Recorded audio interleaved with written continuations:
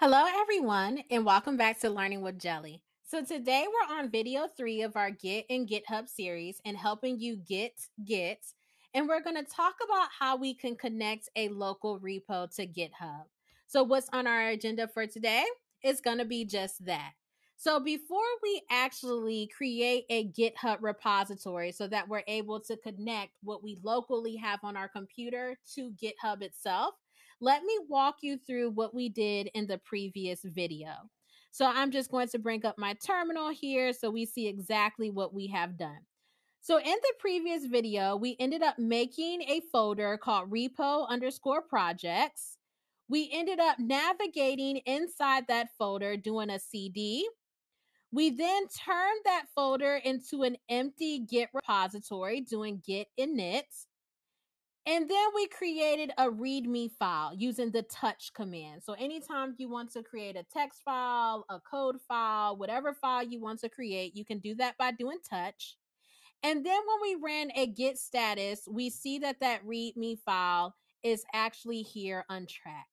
Our goal is to now connect this folder on our computer locally to a remote repository on GitHub that will be housed on the internet.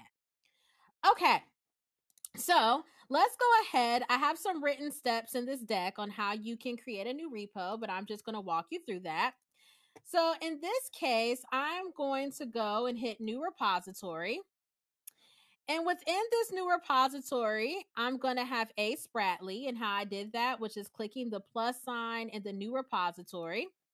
Make sure that you click your username as the owner if you have more than one. And I'm going to name this repository my underscore first project.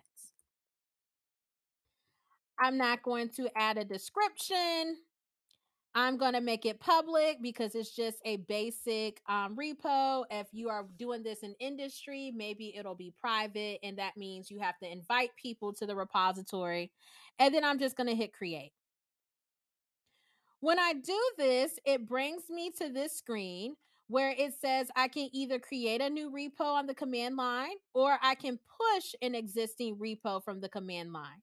We're actually going to talk about the first box later on, but since we already have an existing repo on our computer, we're just going to connect our existing repo to GitHub via the terminal.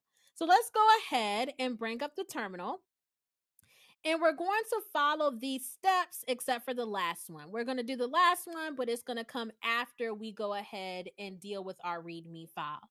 So in this case, the first thing that it tells me to do, it wants me to do git remote add origin and it wants me to copy this URL. So let me go ahead and copy this and then I'm going to paste it. So basically what this is saying is please add this URL as my remote repo for this folder because remote means in the cloud. And I'm going to go ahead and hit enter. After that, I'm going to do a git branch dash m main.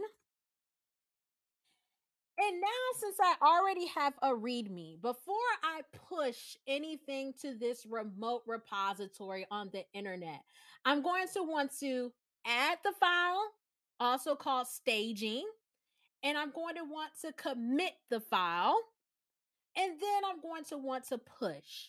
And if you remember those three things in that order, you're going to be good to go. We're going to practice this a lot. So in this case, up here, if we look back, we see that we have untracked files, one being README. It says use git add in the file name to actually stage and track this file. So I'm going to do git add and I'm going to put in that README. And after I do a git add, I'm going to do what we call a git commit. And that's going to be git commit dash M. And in quotes, it's going to be a message, right? These messages should be descriptive because when you want to go back to a commit, you want to know what you have already done. So in this case, I'm going to say initial commit adds README. That way I know that this is my first commit and my first commit is adding this readme. And then there it says, it says one file change. So now since I did a git add and git commit, now I'm going to want to do this git push that we see here. So we have git push dash u origin main, upstream origin main. So I'm going to do git push dash u origin main. Okay. And soon as I do that, I see that it wrote some things and it looks like uh, main set up track remote branch main from origin. Awesome, awesome, awesome. So now when I do a git status here, it says your branch is up to date. So if I go back to GitHub and scroll up and I do my first project, I see that README that I just added right now. Okay. So now I have a connection between my local repo and one that's actually on the internet. Okay. So let's go back to our actual deck here. And I'm going to make this bigger so we can continue to present. So here we were able to connect our first repo and follow all those prompts. Keep in mind, git remote add origin is which the URL of the remote repository that you want to link to your local repository. There are some git commands that you should know that are very common. So, as I mentioned, git status is one of those. When you have no idea what's going on in your repo, do a git status. It's going to tell you if there are untracked files. And just like we saw in the terminal, it told us what to do. Do a git add right? There is also going to be git init you want to initialize a repo locally. We're going to talk about git pull, but we just did a git push. That means when you want to push whatever you're doing locally to the remote repo, and we just pushed up our README. There's going to be a git diff so we can see any differences.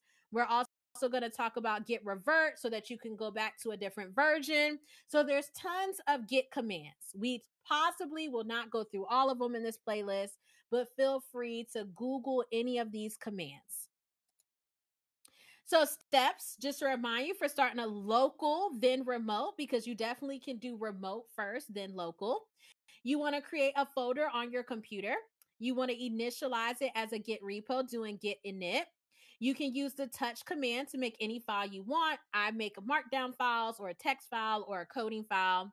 You then want to create that repo on GitHub. Follow the second box of code to connect repo to your local one. And then you want to make sure you know git add, git commit, git push. Git commit will always be a descriptive message of what you are changing. What have you actually done? And there you have it, you all. Thank you for tuning in with Learning with Jelly. Please like, comment, and subscribe, and stay tuned for the fourth video.